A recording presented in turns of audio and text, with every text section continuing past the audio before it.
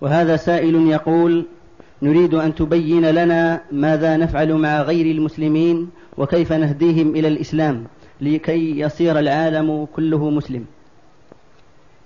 يصير العالم كله مسلم هذا غير ممكن. وحكمة الله تأبى هذا.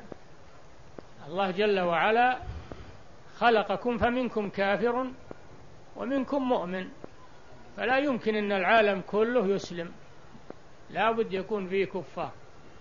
حكمة من الله سبحانه وتعالى ليبلو بعضكم ببعض. لكن الدعوة إلى الله واجبة على من يحسن الدعوة ويتأهل لها بالعلم. يجب الدعوة إلى الله بالحكمة والموعظة الحسنة الجدال بالتي هي أحسن. الدعوة إلى الله يحصل بها مصلحتان. المصلحة الأولى هداية من أراد الله هدايته.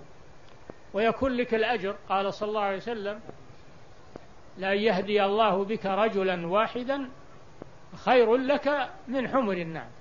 وقال عليه الصلاة والسلام من دعا إلى هدى كان له من الأجر مثل أجور من تبعه. لا ينقص ذلك من أجورهم شيئا. والفائدة الثانية أنها تقوم الحجة على الناس نبلغهم الحجة حتى لا يقولوا نحن ما بلغنا شيء ولا جانا شيء فنقيم عليهم الحجة لتبرأ ذمتنا. نعم.